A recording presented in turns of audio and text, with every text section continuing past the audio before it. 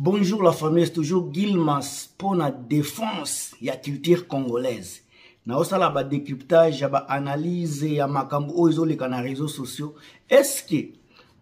boza kotala nanu makambo fere asali pour na streaming 45 000 personnes oyo ba streamer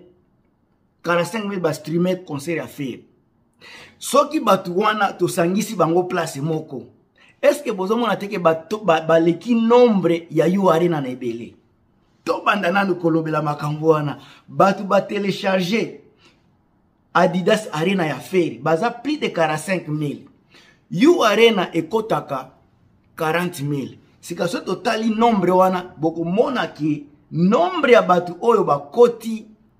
na live concert ya fere gola baleki nombre ya bato ya u arena oyo nalobaki te bandeko na ngai bopesa ngai nano ba j'aime bacommentaire avant na développe makambo oyo botia ba j'aime bacommentaire sandi beka te madi wembo billy rose ariel biatoari joel ndelo bino tout en tout cas nalingi namona bacommentaire na bino parce que oyo eza makambo etali bavrai fan ya bagolois alors soki tozongi na stade de martyre esika nini fere apesi bato esprit ya kostrime miziki alive parce que na congo toyebi ke kostrime ezalaka me nanu musicien ata moko te apesa bato gu wana me lelo tozomona makambo wana ekomi mingimingi epai ya fere un homme qui est intelligent un homme qui sait comment kokanga mbongo gauche à droite mwana mokongo aza lokola mwana munda nde mbongo nde liboso alors fere na stade de martyre bato bakotaki na streame na ye ezalaki 27 000 personnes 27 000 personnes au prix ya 5 dollars bato ya poto bazali kofuta 5000 ezalaki 5 euro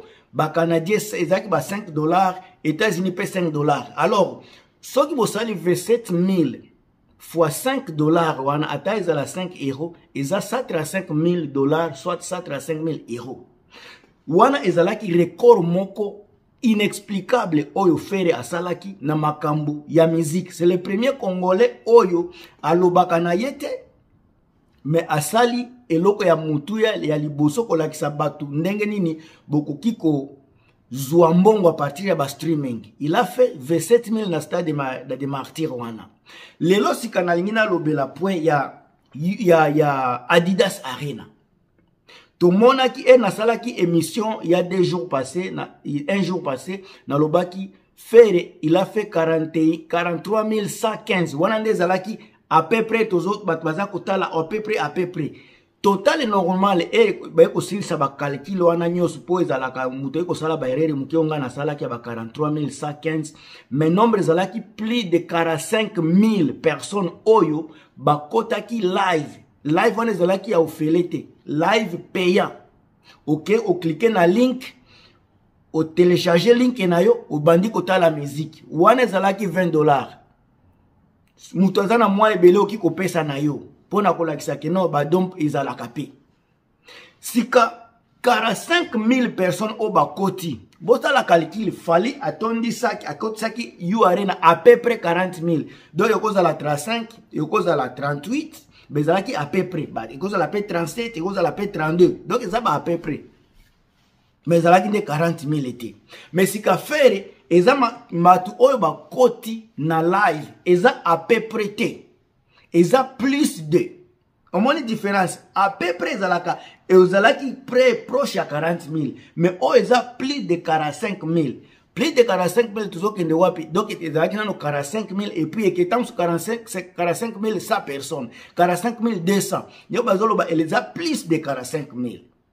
parce que il falaki eleka nano euh, soki eh, eh, ah, tokende kuna te mayele oyo naza kodevelope bato ebele bakoprendre yango te yango nakende kaka na balangage na biso normal oyo tomeseni kosala mpo tose koprendre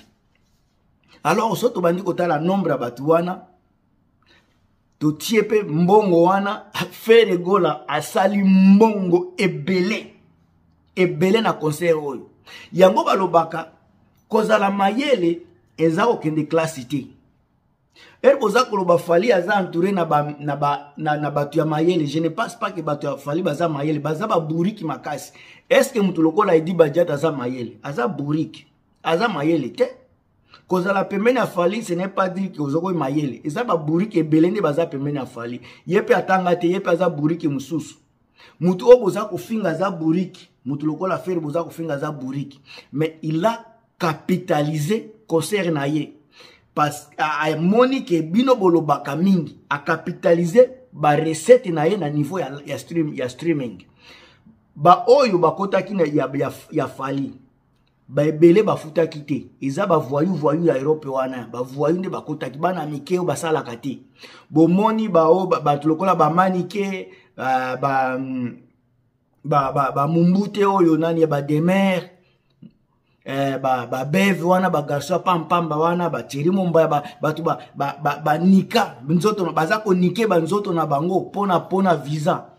mombaya anike visa anike nzoto na ye pona pona pona visa ba alex wana banike nzoto na bango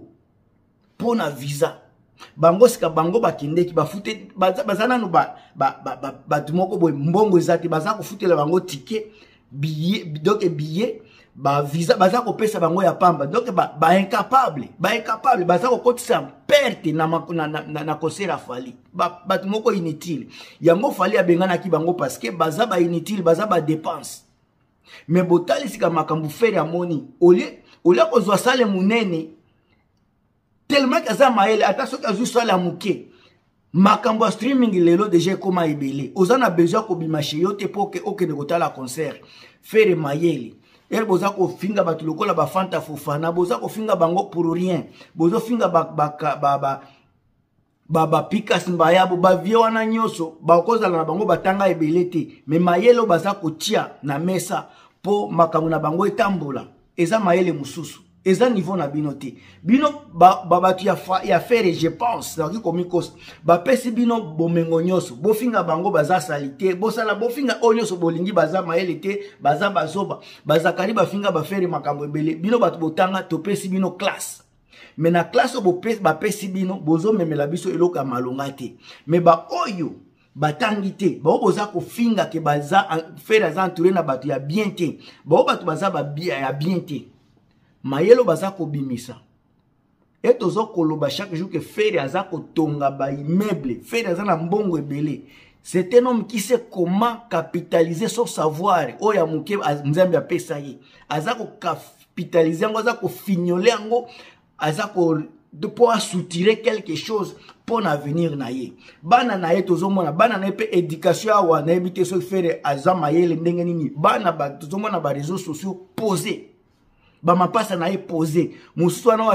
asalaka makambo ya kibonzambe pose soki italiana ah.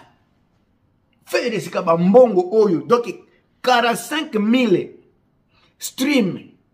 soki botie bato wana na u arena deja u arena fere abeti u arena fere abeti, abeti u arena na adidas arena place moko fere abeti 3 nzungu na 2 jours bato bazoyeba te bazo comprendre te fere abeti 3 concert da deux jours stream wana bato wana beza deja u arena sika fere po abeta u arena atie bato ya u arena na stream babeti yango sika adidas wana volume 1 na volume 2 yango mpe ebetami sika bino bapapa bozotala bakalikile wana te fere oza mayele stade de martyre oyo fali abetaki balobaki ezaki soki 120 personnes 120 personnes fere abetaki plus de 120 alors bato ya stream wana bato bakotaki na stream ya fere ya stade de martyr wana bana ba, deja 135 eza mpe deuxième, deuxième martyr ya fere oyo aza na mposa ya kobeta te mpo asi abeti yango deja na stream wana abetaki yango donc aza na deux martyr bino bozo calcule bozo comprendre makambo ya feri te yango nalobaka soki nga nazongi nalingi nalobela feri il n'y a aucun journaliste oyo akoya kotiela nga défense aza te parce que je réfléchis je, et puis je vous amène des faits réels naza komemela bino baréalité oyo bino bozokoka koloba te fere aza menacé mais na suka na kati ya ba destabilisation boza kosala aza kobima toujours trop intelligent boki koganye ye na bavisibilité na bino mais ele ekomi makambo ya mbongo c'est l'homme qui gagne plus bokoki kozwa badiske dor na bino oyo fali akendaki koteka badroit d'auteur na ye mpo azwa diske dor ndenge toyokaka na bareseau sociaux il se paraîtrait il se pourrait ndenge toyokaka mais fere aza na mposa na makambo wana te deja yo arena kaka wana kara 5000 eza diske dor mpo na ye etekeli ye deja ba, et, etekeli ye miziki epesi ye bambongo ebele donk e, botika kosala bacomparaison ya fere fali fere fali fere fali fere fali fere aza mayele fere aza na stratégie kimia na ye wana botika yango na marke wana nazoyela bino deuxième volet ya émission oyo na ndenge oyo moko boye bokoprendre pourquoi naza ko martele si likambo oyo gilmas moto na bino